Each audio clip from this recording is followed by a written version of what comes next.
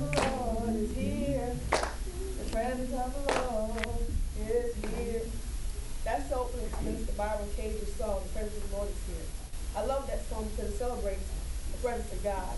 Because everywhere the presence of God goes, something happens. And that's the subject. My text is Exodus chapter 40, verse 34. Then the cloud covered the tent of meeting, and the glory of the Lord filled the tabernacle. God still those tabernacles today. However, we are now the temple, the tabernacle of God. And the ark of God, which rests in the temple, is now in our hearts. It represents the presence of God. The ark was sacred, built exactly how God wanted it to be built.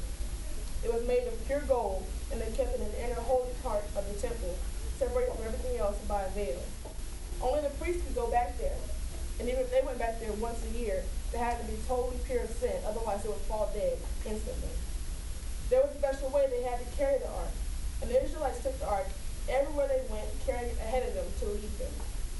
Everywhere the ark of the covenant went, something happened. Everywhere the presence of God goes, something happens. Amen.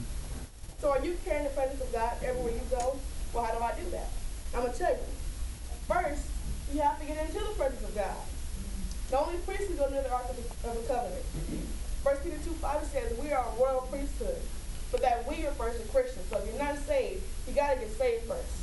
When Jesus died, the veil that separated the temple from the Holy of Holies split in half, representing the fact that Jesus became the veil, the way to get to the presence of God. Also, you enter his presence with worship. In his gates with thanksgiving and his courts with praise. Psalms 100, verse 4. You have to be walking in obedience. A few verses back from my text, it said Moses did everything just as the Lord commanded him. Had he not been obedient, it wouldn't have gone down like that. See, when God's presence steps in, that's how you know it's here because things have to change when God's presence comes around. Zechariah went to God's presence having a barren wife and he came out with the son on the way. The mm. presence of God rested in Obed Edom's house for three months. His family was exceedingly blessed. Why? Because everywhere the presence of God goes, something happens. Mm-hmm. So what happens after you get into the presence of God? You take it everywhere. There should be things about you that change in such a way that it's evident the presence of God is in your life. Your actions, your words, your attitude, and the love you have for one another. That's why Jesus said you know each other, by the love you have for each other. And see, you have to take the presence of God everywhere you go, all the time. You can't be a priest today and a heathen tomorrow, or a priest over here and a uh-huh. heathen over there.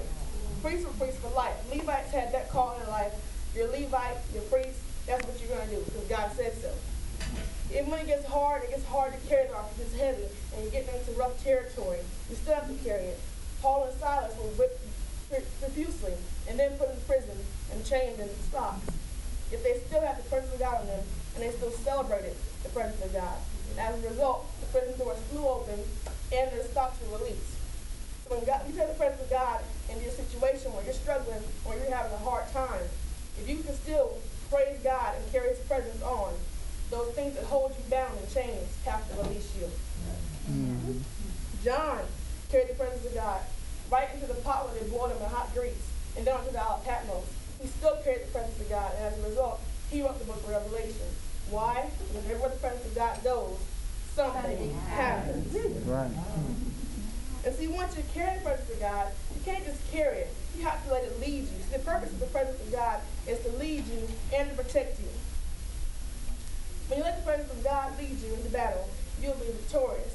Israel went into battle with the presence of God going before them, and every time they were victorious. When they left Egypt, the presence of God went before them as a cloud and as a pillar of fire to lead them out of bondage. When Israel marched around the walls of Jericho, following behind the presence of God, the walls fell.